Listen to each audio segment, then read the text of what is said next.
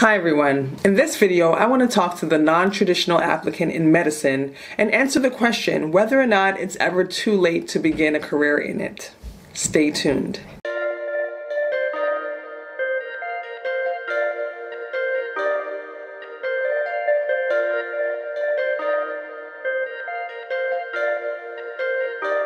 So, you're a non-traditional applicant.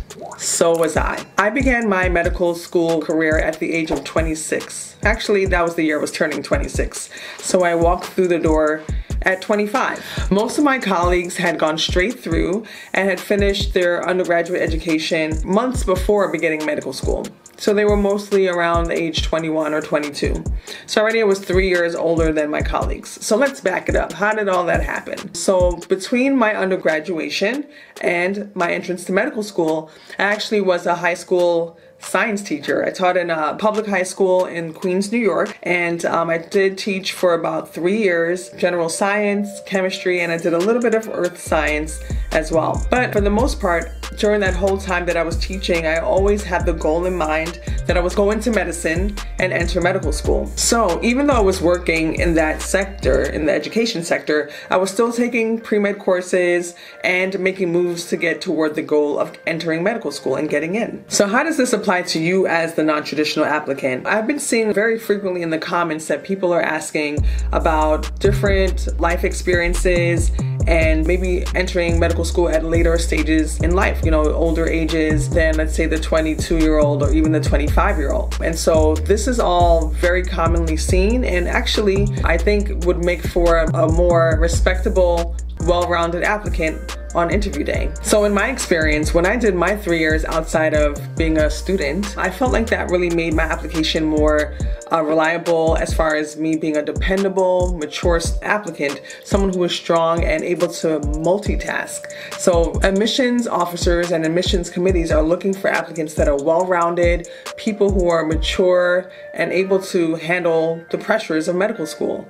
So if you lived in the real world and you, you demonstrated that by being able to hold a job, if you have a family, if you had other careers before medicine, if you were able to do all of those things, that really shows the admissions committee someone who's able to balance. And so in medicine, that's the most important thing that you have to do on a daily basis is balance the needs of your patient and multiple patients and the different issues that might come up with them. And also be able to commit to the time that it's going to take you to go through medical school or any other professional training within the healthcare field. So I think that being a non-traditional applicant is never a negative, but it's just what you're doing with the time that you're outside of being a trainee or a student that really matters. So you have to think about that when you're doing your applications for medical school and consider whether or not it's something that you would be able to demonstrate on interview day. So you have to look at your experiences as a non-traditional applicant as a way to give yourself a leg up. So when you're out there in the world and you're living everyday life and you're doing, you're balancing all your responsibilities for your career, it really does help you. Some people might think a non-traditional applicant going in at a later age, let's say you're already 30, 35, even 40, some people might consider that as a disadvantage, but it really is not. I would say that your responsibilities on a day-to-day basis, for example, if you're juggling your job and you have kids, you have to manage your home, other things that are going on, bills, and you know, just being an adult. It's something that is very much admirable in the eyes of people who are looking at your application as a demonstration of you being able to manage responsibilities and get everything done and also study. You know, you're taking the same pre-med courses that someone who doesn't have any of those responsibilities are taking. You know, someone who's just going straight through, who doesn't really have any of the responsibilities and is just basically a student. You know, you doing the same courses as them and getting the same grades is a demonstration of your strength and your ability to multitask and manage a lot of things at once and do it well. So I think that that's very, very impressive and it really could only weigh in your favor. So as an applicant, you have to strongly demonstrate your passion and your reason why you're entering medicine because that's something the admission committee is really looking for when they're looking at your application. They're going to go through your application with a fine tooth comb looking for the reason why you decided at this point in life to change careers fully uproot your whole situation and start being a physician. Going through, start being a student again, going through all the processes that it entails to train to become medical doctor, CRNA, a nurse, anything in the healthcare field that you're trying to enter into. As you all know, all of these positions are very competitive, and so we're looking at a field that's very limited in numbers, so you have to really demonstrate yourself as someone who's committed to the process, is willing to do everything it takes to be successful, and someone who's going to be through to the end, who's not going to drop off in the middle or give up halfway through the process. So, with all that being said, I want to encourage you guys that are non traditional applicants no, there's never an age that's too old to go into medicine. This is something that is based on you and your strong desire and your strong passion, your strong commitment to the field, and your knowledge of how much work it's going to take the effort you're going to have to put in and the time and sacrifice that you're going to have to put on the line as well. So when I was going through my journey, I actually found out there were quite a few people who were already attendings and you know practicing for years that had done careers before then. Um, I know specifically one of my attendings was an engineer before going to medical school and he did so for about 10 years. So I think he entered medical school when he was 35. One of my good classmates was a lawyer before going into medicine and she practiced for two years. So you really have to think about about, you know, all those kind of examples of people who have done other careers and have successfully gone through it. And they are able to say that now, you know, they've found the career that was really meant for them. So this is something that if you really want it, you should push for it no matter what's going on with your life at this moment. If this is your passion, you can always make your dream come to reality. So there are other alternative careers to pursue in medicine that could be great for you and will actually help you feel just as fulfilled and as give you the lifestyle that you've always wanted to have and the balance that you've always wanted to have. So in my last video, I spoke about the time it takes to become a nurse anesthetist and also an anesthesiologist assistant.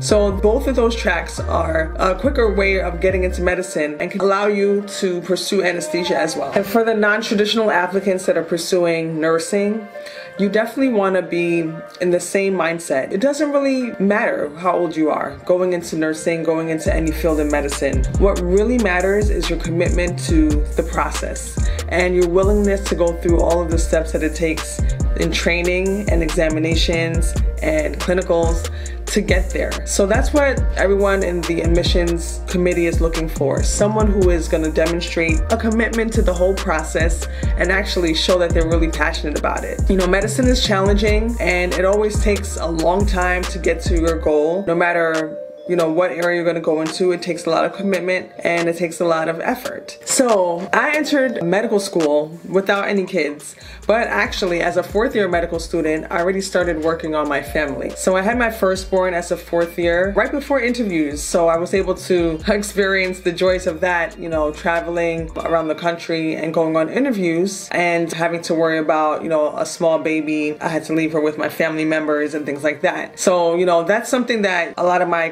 classmates didn't really have the pleasure to experience, but made me, you know, a different candidate, someone who's experiencing real life things, you know, a little bit earlier than most. And then as far as my second born, she was born while I was a resident, um, an intern actually, and I went through the rest of my residency training with two kids and having to balance everything, take my exams and everything with both of them in tow.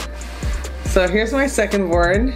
Oh, yes, I was definitely the littler sister.